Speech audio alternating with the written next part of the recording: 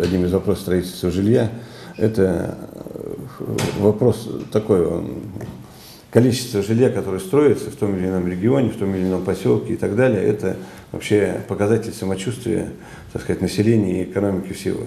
Потому что жилье строится там больше, где есть покупательная способность и все остальное. Поэтому ну, надо понимать, в каждом регионе, когда смотришь статистику, она несколько разная.